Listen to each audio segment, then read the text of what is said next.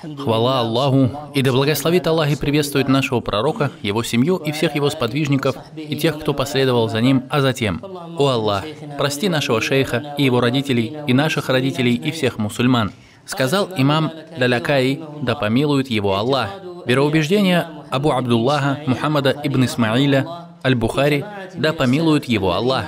И от группы предшественников, которые передали от него, он сказал – рассказал нам Ахмад ибн Мухаммад ибн Хавс аль-Харауи, рассказал нам от Мухаммада ибн Ахмада ибн Мухаммада ибн Саляма, рассказал нам от Абуль Хусейна ибн Мухаммада ибн Имрана ибн Муса аль-Джурджани, что он сказал. Я слышал, Абу Мухаммад Абдурахман ибн Мухаммад ибн Абдурахман аль-Бухари в городе Ашшаш говорил, «Я слышал, Абу Абдуллах Мухаммад ибн Исмаиль аль-Бухари говорил, я встретил более тысячи мужчин, из числа обладателей знания, из жителей Хиджаза, Мекки, Медины, Куфы, Басры, Васита, Багдада, Шама Египта. Я встретил их по несколько раз, поколение за поколением. Я застал многих из них на протяжении 46 лет, жителей Шама, Египта и Арабского полуострова. Два раза. Пусть Аллах дарит вас благом. Жителей Шама, Египта и Джазиры, Арабского полуострова дважды. Басру четыре раза. Многие годы. В Хиджазе шесть лет и не посчитал, сколько раз вошел в Куфу и в Багдад вместе с хадисоведами Харасана. Из них Макки ибн Ибрахим, Яхья ибн Яхья, Али ибн Хасан ибн Шакик и Кутейба ибн Саид и Шихаб ибн Муаммар. В Шаме Мухаммад ибн Юсуф аль-Фирьяби, Абу Мухсир, Абдуль Але ибн Мухсир, Абдуль Куддус ибн Хаджадж, Абуль Яман Хакам ибн Нафиа и после него большое количество. В Египте Яхья ибн Букейр и Абу Салих, писец имама Лейса ибн Саада – Саид ибн Аби Марьям, Асбах ибн Аль-Фарадж и Нуайм ибн Хаммад. В Мекке Абдуллах ибн Язид Аль-Мукри, Хумайдия, Сулейман ибн Аль-Харби, Аль-Кади и Ахмад ибн Мухаммад Аль-Азраки. В Медине Исмаиль ибн Аби Уэйс, Мутарриф ибн Абдуллах, Абдуллах ибн Нафи' Аз-Зубейри, Ахмад ибн Аби Бакр, Абу Мусаб Аз-Зухри и Ибрахим ибн Хамза Аз-Зубейри. Ибрахим ибн Мунзир Хизами. В Басре Абу Асим Ад-Дахак, Аш-Шайбани, Абуль-Валид Хишам Абдуль-Малик, Хаджадж ибн Минхан и Али ибн Абдуллах ибн Джафар аль-Мадини. В Куфе Абу Нуайм Аль-Фадль ибн Дукейн, Убайдуллах ибн Муса и Ахмад ибн Юнус, Кабиса ибн Укба ибн Нумейр, и Абдуллах и Усман, двое сыновей Абу Шейбы.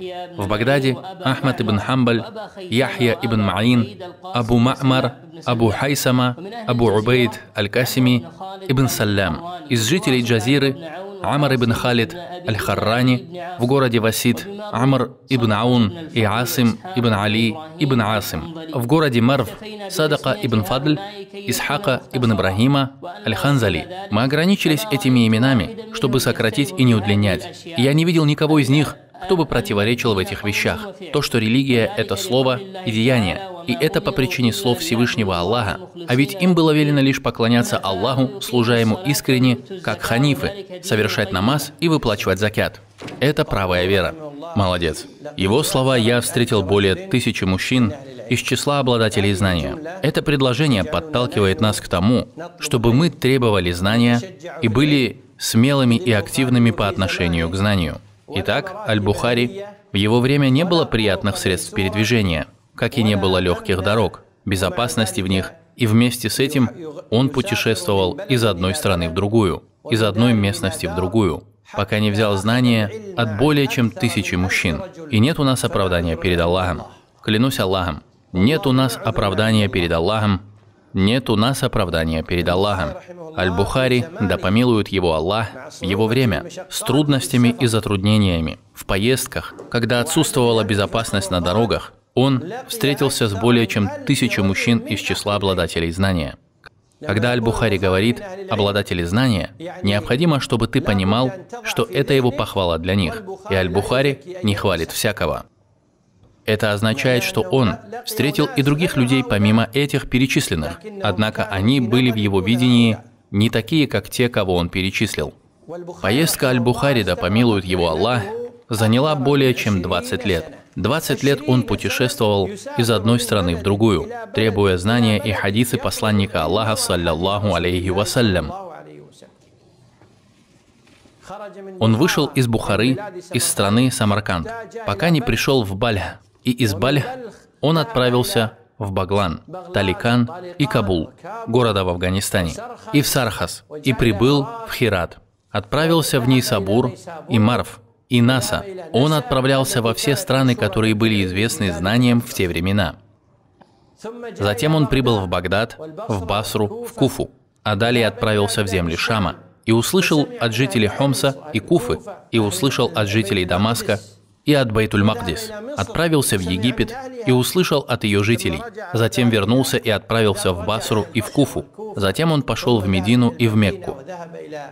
Это благословенная поездка. И эта поездка не была один раз, она была многократной, как он и сказал. Он сказал, жители Хиджаза, и здесь имеются в виду под жителями Хиджаза жители между Меккой и Мединой. И правильное мнение Мекка и Медина из Хиджаза.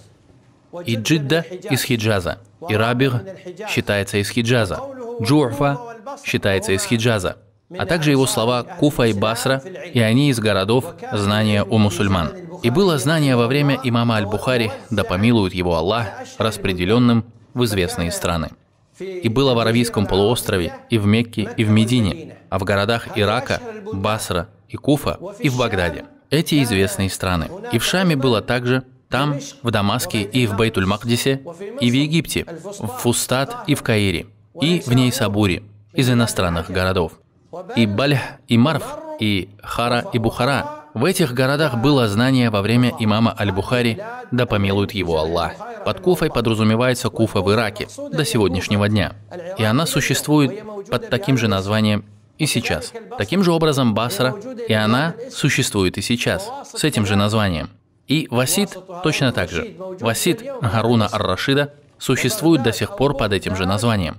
А Багдад или Бугдад Некоторые предшественники не любили название Багдад, потому что оно является персидским словом, и у него плохое значение. И из-за этого они так не говорили. Однако ученые передают это название, потому что оно стало как имя собственное. И указал на это имам Аль-Хатыб, да помилует его Аллах, в его известной книге по истории «Тарих Аль-Багдад». Он не назвал ее Тарих Аль-Багдад. Он назвал ее Тарих Дарус-Салям.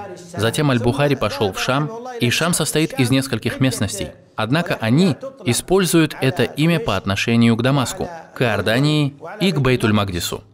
И Египет. В Египте также было несколько городов, в которых были ученые. Он сказал, «Я встретил их продолжительно, потому что его поездка была несколько раз. Она не была однократной поколение за поколением. Имам Аль-Бухари путешествовал, и когда у него заканчивались деньги, он возвращался в свой родной город, Бухару. Затем снабжался из семейного имущества и возвращался к требованию знаний еще раз. Он сказал «поколение за поколением». Когда он сказал «поколение за поколением», мы узнали, что не имеется в виду под словом «карн» сто лет, потому что он не прожил сто лет. Имам Аль-Бухари родился в 194 году и умер в 256 году по хиджре. Родился в 194 и умер в 256 году по хиджре. И что же означает «карн» после «карна»? В этом контексте это слово означает «поколение за поколением». Если мы посмотрим на хадисы Бухари, мы найдем, что Аль-Бухари, да помилует его Аллах, у него три поколения шейхов – Поколение из числа шейхов, которые были взрослыми, и они слышали хадисы раньше других его шейхов. И из-за этого в хадисах между пророком и Бухари было либо три человека, либо же четыре человека, или же пять человек. И это то, что в большом количестве в Сахих Аль-Бухари, что передатчиков было четыре или пять человек.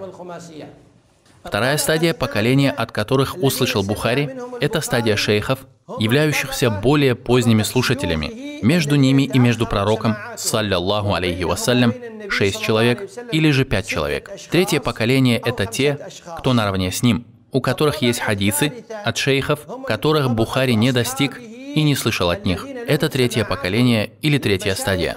Итак, Бухари, да помилует его Аллах, он говорит «карн после карн». И здесь имеет в виду под этим поколение после поколения из числа обладателей знания. Первое поколение, второе поколение и третье поколение. Например, то, что мы говорим сейчас, мы говорим, там есть поколение, которое застало шейха Ибн База, и застало шейха Усеймина, и застало шейха Аль-Альбани. И там есть второе поколение, которые застали некоторых из этих трех шейхов, и не застали их всех трех. И есть третье поколение, они те, которые не застали ни одного из трех шейхов. Первые хадисы Бухари услышал, когда ему было 6 лет. Первые хадисы он услышал в 6 лет. Он их услышал от своих шейхов в деревне Бейкен, в которой он проживал. Затем, когда ему исполнилось 10 лет, да помилует его Аллах, он уехал из Бухары, согласно правильному мнению. После этого он продолжал обучение в Мекке, когда же он совершал хадж со своим братом и матерью, он сказал, «Я застал их, и они многочисленны». Эти слова означали, что ученых первого и второго поколения, которых он застал, было не один или два человека, а их было очень много. И ученых второго поколения было много. Он сказал, более 46 лет. То есть это означает, что с момента его отъезда и практически до самой его смерти он не оставлял встречи с учеными. С самого начала, если мы посчитаем с того момента первой его поездки, которая состоялась в 204 году, и до самой его смерти в 256 году, то получается 52 года, а он сказал 46 лет. И причина этого в том, что он не посчитал еще 6 лет, или же по причине того, что он находился в Бухаре по какому-то другому своему делу. В общем, на протяжении 46 лет он путешествовал и раз за разом встречался с учеными. Затем он говорит, ученым Шама, Египта, Джазиры ездил по два раза. Теперь он разъясняет, что он путешествовал в Шам дважды. Поразмышляем над тем, как он путешествовал. Человек ездил из Бухары в земли Шама два раза, в Египет два раза, а также в Джазиру два раза. Под Джазирой в первых книгах подразумевался остров Фурата. Аль-Джазира – земля, расположенная между Диджлей и Фуратом. Эти места называют Джазирой. И когда говорят «джазиратуль араб», то имеют в виду джазиру аравийскую, то есть аравийский полуостров, добавляя слово «араб». Он говорит «жителей Шама, Египта и Джазиры два раза». Конечно, из стран Джазиры в те времена Городом, в котором было распространено знание, например, был Масул.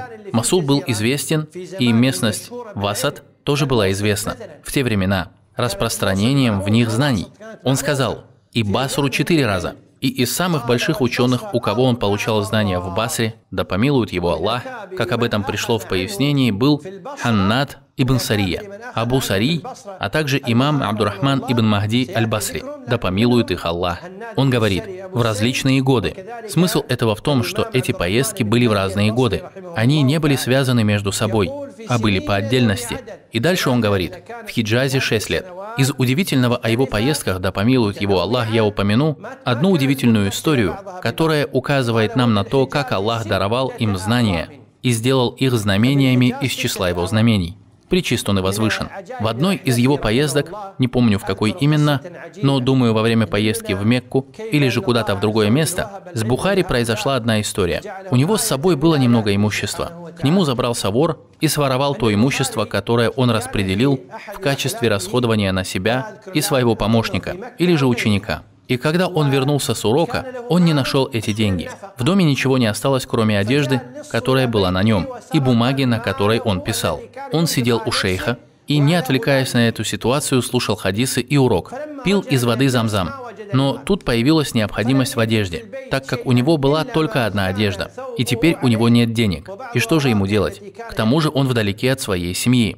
Это вынудило его покинуть урок. Он постирал свою одежду и остался в своем доме голым. Что он сделал? Что же мы скажем сегодня? Мы скажем, на урок идти далеко, маша Аллах. Как далеко? Это 100 или 200 километров. Я что, пешком буду идти, что ли? Да. А это Бухари, который ходил пешком. А ты нет. Ты не будешь ходить. Клянусь Аллахом, нет у нас оправдания. Какие бы оправдания ни находили себе, лень, нерадивость, безразличие, отсутствие интереса и оставление знания. Нет у нас оправдания. Нет у нас оправдания. Когда я собирался к вам, я говорил себе, такое-то место, это так далеко, но сразу же вспомнил Аль-Бухари. Как далеко? Приехал на машине, хоть и издалека. Клянусь Аллахом, нам должно быть стыдно. Клянусь Господом Каабы, стыдно нам. Если мы, конечно, знаем, что такое стыд, то это стыдно. Я прошу Аллаха, чтобы Он нас простил. Я прошу Аллаха, чтобы Он простил нас и вас. Еще один важный момент. Аль-Бухари не присутствовал на уроке. И обычно шейх сидел и не начинал урок, пока сначала не посмотрит на Бухари. Но в этот раз он не пришел.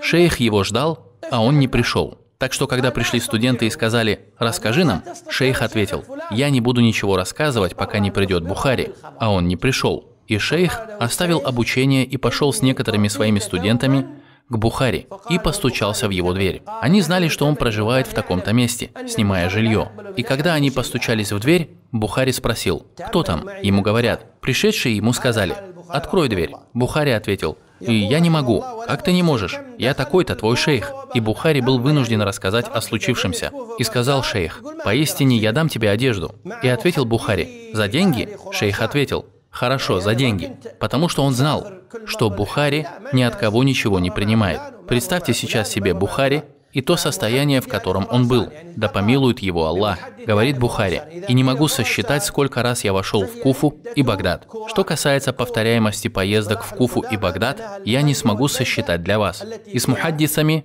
жителями Хорасана. То есть я не был путником сам по себе. Нет, был с людьми. Один раз шел с кем-то одним, а в другой раз с кем-то другим, с хадисоведами, жителями Хорасана. То есть он встретился с хадисоведами из числа жителей Хорасана. Когда говорится Хорасан, то имеется в виду несколько кура.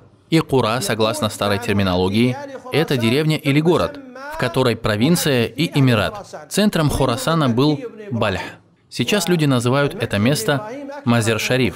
Нет там ни могилы Мазара, ни посещаемого места, и нет в нем почета. Однако по причине лжи и обмана людей, которые хотят заработать деньги и из-за этого обманывают людей. Бухари говорит с хадисоведами из жителей Хорасана, а затем назвал имена хадисоведов Хорасана и среди них назвал Маккей, ибн Ибрахим. Бухари привел много хадисов от Макки ибн Ибрахима в своем сахихе и Яхья ибн Яхья. Под ними подразумевается Нисабури, который являлся передатчиком от имама Малика. Он был из числа самых известных людей в Нисабуре, из тех, кто рассказывал с Муатта, книги имама Малика, от имама Малика. И из-за этого имам Муслим также взял от Яхья ибн Яхья, ан Нисабури. Таким образом, он взял хадисы из книги Муватта. Далее Бухари говорит, Али ибн Хасан аш-Шакик и Кутайба ибн Саид. Конечно, Али ибн Хасан ибн Шакик был из числа больших хадисоведов Харасана. А что касается Кутейба ибн Саид, Аль-Джамиль ибн Тариф Аль-Багляни, Абу Раджа Аль-Хауляни, он со мной из одной местности. Он родился в Болган и вышел из нее, когда ему было 20 лет и вернулся в Болган, когда его возраст достиг 60 лет, и он умер в Болгане. И, к сожалению, его могилу посещают и до сих пор. И это нововведение людей. Он является из числа имамов Ахли Сунны. Имам Аль-Бухари, да помилует его Аллах, несмотря на то, что имам Кутейба намного старше, чем он, Однако имам Кутейба сильно уважал Бухари и говорил, Бухари является имамом всех имамов. Это указывает на то, что ученые соблюдали права своих студентов. Далее Бухари говорит, Шихаб ибн Муаммар. Тут написано Муаммар, но я думаю, что это Шихаб ибн Ма'мар. Я точно не знаю. Надеюсь, Абу Умар поможет нам убедиться в том, что Шихаб ибн Муаммар ли это, или же Шихаб ибн Ма'мар. Я думаю, что это Шихаб ибн Ма'мар который также является из ученых Хорасана. Затем Бухари сказал, и в Шаме Мухаммад ибн Юсуф Аль-Фарьяби. Мухаммад ибн Юсуф Аль-Фарьяби является большим ученым, от которого также много передал имам Аль-Бухари. Далее Бухари сказал, и Абу Мухсир Абдуль Але ибн Мухсир, и Абуль Мугира Абдуль Куддус ибн Хаджадж и Абуль Ямани Хакам ибн Нафиа ибн Утайба. От Хакам ибн Нафиа очень много передают Бухари в Сахих. Более того, он считается одним из шести, от которых больше всего передал Бухари.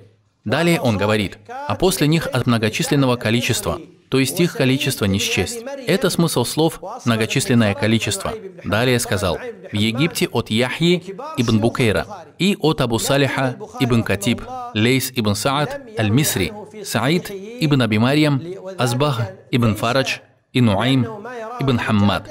Конечно, Нуаим ибн Хаммад из числа больших шейхов имама Аль-Бухари. Однако Бухари, да помилует его Аллах, не передавал от него в своем сахихе. И это не потому, что он не считал его достойным, а потому, что передаваемые им хадисы не соответствовали условиям, которые поставил Бухари. Нуаим ибн Хаммад являлся из числа больших имамов сунны, даже если были разговоры насчет хадисов, которые он передавал. Он был из числа великих людей, которые очень сильно старались для оживления сунны. И он тот, который сказал, кто отрицает то, что Аллах отверг от самого себя, тот является неверным. И кто уподобил Аллаха его творением, то такой стал неверным. И из-за этого необходимо мусульманину утвердить то, что утвердил Аллах и его посланник. И это дорога праведных предшественников. Сказал Бухари, да помилует его Аллах.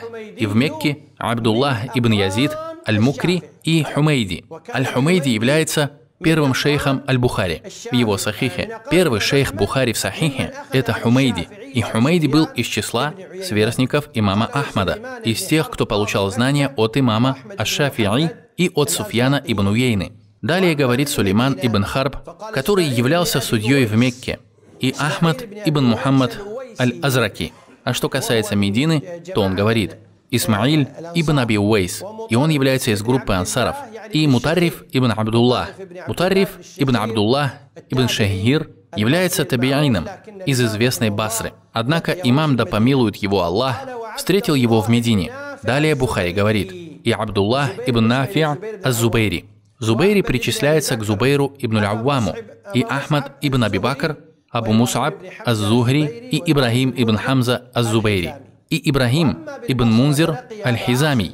Далее говорится, что касается Басры, то он встретил там Абу Асим Ад-Дахак ибн Махлет ибн Шейбани и Абуль-Валид Хишам Абдуль-Малик и Хаджадж ибн Минхаль и Али ибн Абдуллах ибн Джафар аль-Мадини.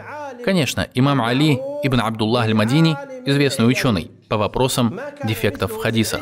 Не было подобного ему в области науки о недостатках в хадисах, кроме имама Аль-Бухари. Он был имамом в выявлении недостатков в почетных пророческих хадисах, и про него сказал имам Аль-Бухари, да помилует его Аллах.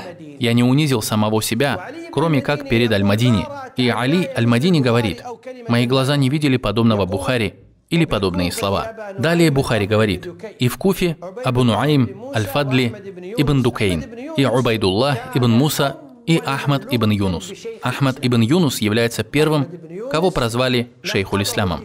Его так прозвал имам Ахмад. И после этого это прозвище стало известным. И Кабиса ибн Укба и ибн Нумейр. Под ибн Нумейром тут имеется в виду сын, а не отец. И он Мухаммад ибн Абдуллах ибн Нумейр. Имам Аль-Бухари не слышал от отца, а слышал от сына. И он Мухаммад ибн Абдуллах ан-Нумейр. И сказал, Ибн Нумейр и от Абдуллаха ибн Усмана ибн Абишейба. Абдуллах ибн Абишейба и Усман ибн Абишейба. Усман ибн Абишейба является автором книги Мусаннав. Известная книга Мусаннав, автором которой является Абу Бакр ибн Абишейба.